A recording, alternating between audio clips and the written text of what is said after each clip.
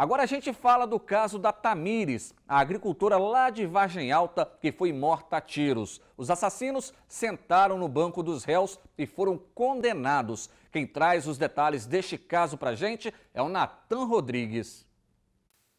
Oi, Wanderson. Você de casa aí lembra do caso da Tamires, aquela jovem de 26 anos que voltava de uma feira de Mimoso do Sul com o marido. Eles estavam em um caminhão quando foram abordados por um veículo e esses criminosos teriam roubado uma quantia em dinheiro e atirado três vezes contra a Tamires. Ela chegou a ser socorrida e levada para o hospital Padre Olívio, mas acabou morrendo. Ela, na época, deixou três filhos, duas meninas e um menino. Pois é, esse caso teve um desfecho é, na tarde desta quarta-feira e no início da madrugada desta quinta-feira foi dada a sentença, o julgamento dos suspeitos de cometerem este assassinato contra a Tamires. A Sulamita Barbosa de Almeida, conhecida como Sula, foi condenada a 30 anos e 3 meses de prisão. A filha dela, que também participou do crime, Flávia de Almeida da Silva, foi condenada a 20 anos e 11 meses de prisão. E já o assassinato, quem fez, quem executou a vítima foi Wilson Roberto Barcelos Gomes, o negão Shaquila, que foi também é, condenado a 23 anos e 4 meses de prisão. Todo esse crime teria acontecido por conta de uma briga amorosa. Em depoimento, Sulamita, é, que é a mãe da, da Flávia, ela negou ter participado do crime e contou que só pediu o Wilson, que foi quem matou a Tamires, para dar um susto na vítima. Isso porque essa menina de 26 anos, a Tamires, incomodava a filha dela. Negão Shaquila, que foi quem matou a vítima, ele afirmou que recebeu o dinheiro de Sulamita, mas que não executou Tamires. Nem mesmo teria dado o susto que a mulher pediu. Só que a Flávia, que é a filha da Sulamita, que tem 20 anos, ela confirmou que conversou por WhatsApp com o negão Shaquila e que teria pedido para que ele matasse a vítima.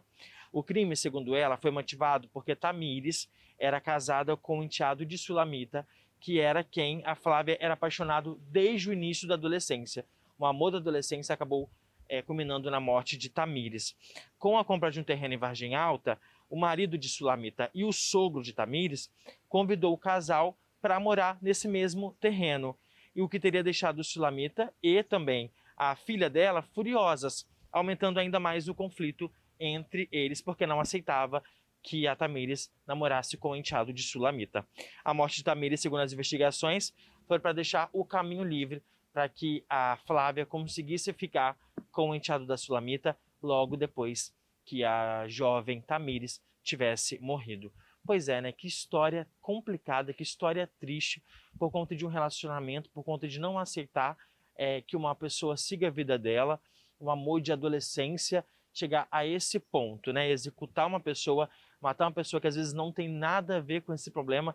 O homem que resolveu seguir a vida, o homem que não quis nada, não quis a sequência desse relacionamento e acabar na morte dessa jovem de apenas 20 anos que teve a vida aí ceifada, né? Acabou com a vida dessa jovem que tinha um futuro brilhante pela frente.